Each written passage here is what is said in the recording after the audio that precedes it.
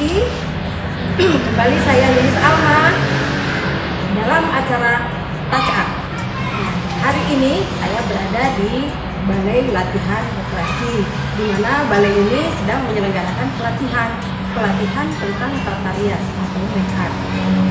Nah, para sahabat Strabis TV, program ini adalah program gubernur yang diberikan untuk para generasi muda untuk mendapatkan pelatihan di bidang jasa salon. Jasa salon itu sendiri tidak hanya make akan tetapi ada juga ada juga eh, jasa massage, ada juga jasa untuk manajemennya dan juga ada jasa untuk membuat produk.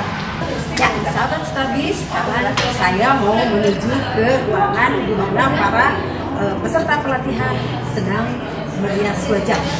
Yuk, kita ikuti.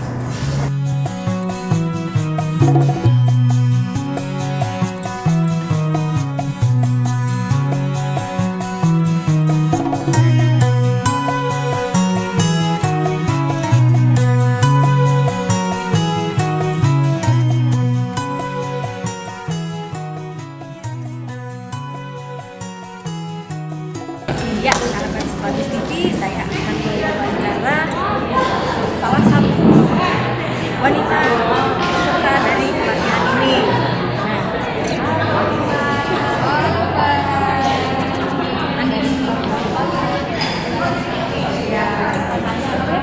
Andini. Andini. Nah, sahabat ini peserta pelatihan bernama Andini. Nah, Andini, nah, hari ini Ya, eh, sekarang itu lagi prakarek mbak ya kebetulan disuruh untuk make up pengantin sekarang untuk make up pengantin. Oh, make up pengantin. Ini proses berapa lama?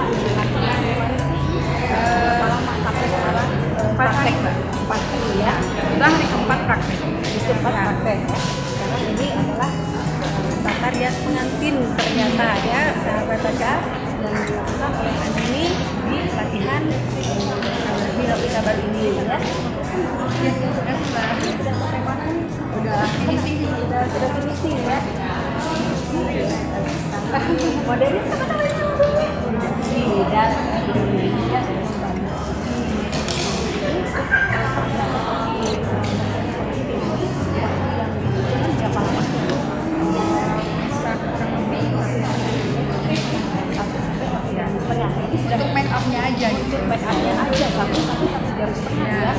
Ternyata pemirsa tajam cukup lama juga ya ternyata memake up apa eh, membuat cantik untuk para pengantin. Sahabat saja, sekarang pelatihan ini adalah untuk memberikan memberdayakan para generasi muda dengan bidang tata rias ataupun bidang eh, touch up ataupun bidang make up. Nah, make up itu sendiri kan ditunjang oleh eh, apa namanya etika ya. Etika itu sendiri harus kita pelajari lebih dalam lagi di saat kita eh, berusaha atau di saat kita memberikan pelayanan terhadap eh, customer itu akan memberikan pelayanan dengan secara baik dengan beretika yang sangat bagus. Nah, itu karena berpengaruh tidak hanya eh, bagus make upnya tapi etikanya juga harus bagus. Nah, teman-teman sahabat baca untuk pelatihan ini dikategorikan tidak hanya untuk perempuan tetapi bisa juga untuk laki-laki. Nah kebetulan peserta pada saat ini yang laki-laki eh, ada berada di sini kurang lebih ada eh, beberapa orang, ada lima orang sekitar lima orang. Nah semuanya itu tidak di bidang make up, bukan mempelajari tentang make up, tapi lebih mempelajari eh, bidang manajemennya. Karena dalam berusaha itu, dalam kita berbisnis itu, kita juga harus menggali tentang manajemen supaya kelak usaha kita lebih sukses dan lebih maju. Kemudian ada juga yang bergelut di bidang eh, membuat atau menghasilkan produk, yaitu eh, produk dari masker, masker yang terbuat dari eh, bahan-bahan yang herbal. Kemudian ada juga yang bergerak di bidang massage, juga bergerak di bidang massage. Itu semua eh, tercakup menjadi satu kesatuan bidang eh, kecantikan.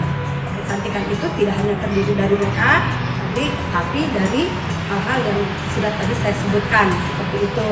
Nah, ternyata tidak hanya kecantikan yang akan didapat dari pelatihan ini oleh para uh, peserta pelatihan, nah, tetapi kriteria dari kecantikan itu sendiri didapatkan dari pelatihan ini. Seperti contohnya etika, etika jabatan juga dapat.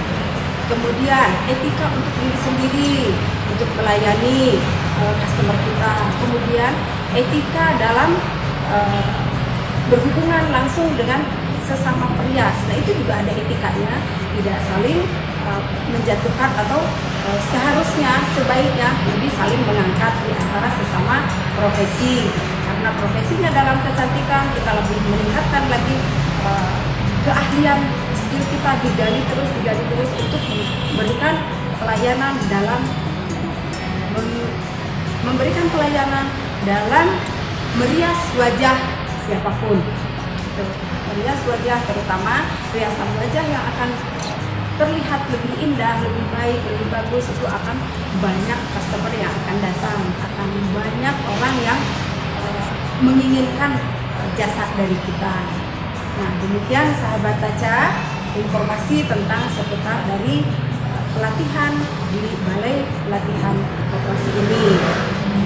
Kemudian program yang diberikan oleh Bapak Gubernur ini merupakan uh, program yang sangat luar biasa karena ternyata tidak hanya peduli dengan jasa-jasa uh, yang lain, tetapi jasa kecantikan pun terus dikembangkan sehingga orang-orang yang berniat ataupun e, menyukai ataupun lebih tertarik dengan tata kecantikan dengan jalan yang terbuka lebar untuk memperoleh jasa atau memperoleh ilmu dari kecantikan tersebut.